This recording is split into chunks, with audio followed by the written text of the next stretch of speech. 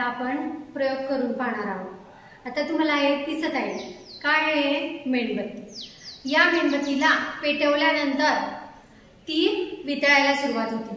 आणि ती थंड झाल्यानंतर पुन्हा त्याचं रूपांतर हे मेणामध्ये होत असतं.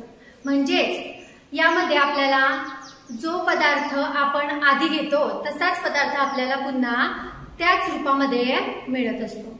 मग यासारखा आपण अजून उदाहरण घेऊ शकतो. बर्फ.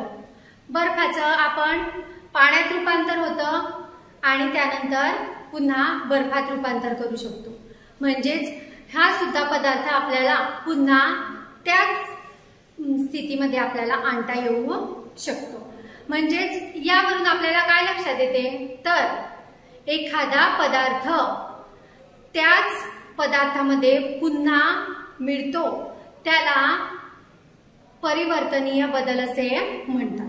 मग त्या उलट जो पदार्थ आपल्याला पुन्हा त्या स्थितीमध्ये मिळू शकत नाही अशा पदार्थाला अपरिवर्तनीय बदल असे म्हणतात.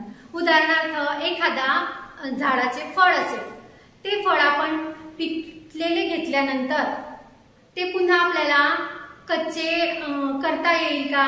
उदाहरणार्थ आंबा घेतला. पिकलेला आंबा. आपल्याला कैरीत त्याचे रूपांतर करता येईल का? नाही. म्हणजे असे दोन बदल हे आपल्याला दिसून येतात.